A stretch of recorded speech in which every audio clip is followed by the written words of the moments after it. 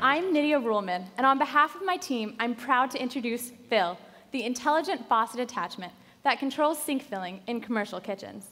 And Phil will indicate to him to place his hand under the device. It will chime once it has read the level and wait for him to remove his hand before it begins filling the sink.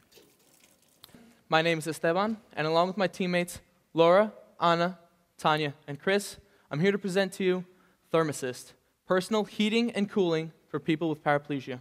This unit consists of a water reservoir and a heat exchanger that is filled with a phase change material. As the cool water is cycled through the pad, it cools the user. Good evening. My name is Pooja Shah. This is Michael Bickers and Stephen Hendel, and we'd like to address an issue that millions of bikers face daily security. Should the user with their key fob re enter the five foot proximity, they're able to simply walk up, open the lock, and be on their way. I'm Elena Present. This is Kristen Kugetsu, Ragab Kuja, and Rand Hidayah. On behalf of Green Team, we'd like to introduce to you a solution, our product, Walker Prime.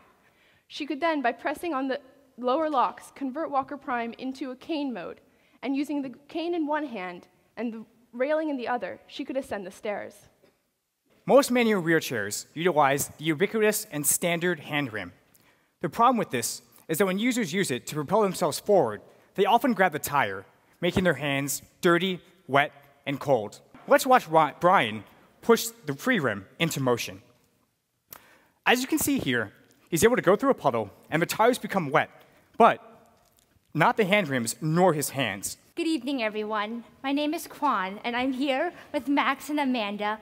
And on behalf of so Team Silver, we are so proud to present to you Exhale.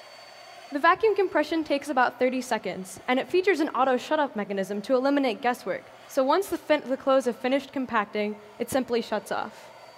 My name is Craig, and on behalf of myself, Victoria, Tom, Becky, and the rest of the Purple team, we would like to introduce to you Ascent. Ascent is a manual wheelchair that provides a power assist. There are 1.5 million people who use manual wheelchairs in the US, and this amounts to a, a market of $1.65 billion. And that has an annual growth rate of 8%, so we're very optimistic about the market that we'll be entering. I'm Chris Mills, and this is Helmet Hub. Helmet Hub is a self-contained helmet dispensing and return system. The touchscreen guides the user through the purchasing process. Initially, all the helmets are stacked on the top plate, and when you pull the handle, the bottom helmet drops between the plates. When you push the handle back in, it constrains the stack, and the bottom helmet is, is able to drop through into the dispensing area. Thanks, everybody, for coming out. You've made it a really special evening. Please join us in the lobby for reception.